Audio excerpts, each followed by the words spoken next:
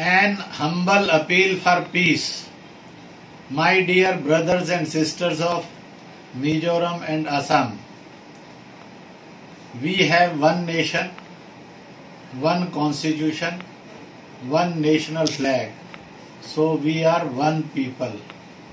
Let us restrain from any conflicts, maintain peace, and build a friendly atmosphere amongst ourselves for the prosper Mahan Bharat and be careful from the instigators